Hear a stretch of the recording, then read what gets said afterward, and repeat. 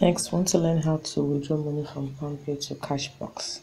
Now, here's my available balance 0 kobo. I'm sending to my Cashbox. So what I do is that under services, I see the option of a Cashbox after refer and earn. I select Cashbox, then how much do I want to save.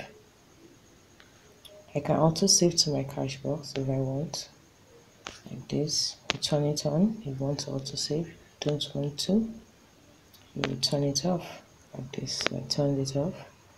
I go back. To my cash box so how much I want to save? I select save.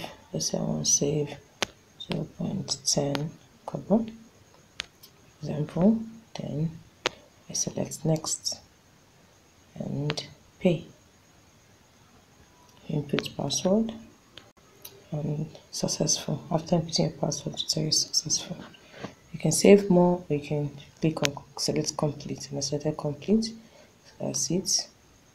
Balance has increased from 0 naira 20 kobo to 0 naira 30 kobo because I just saved 10 kobo. So that's how to save. That's how to withdraw money from your PalmPay to your cash box.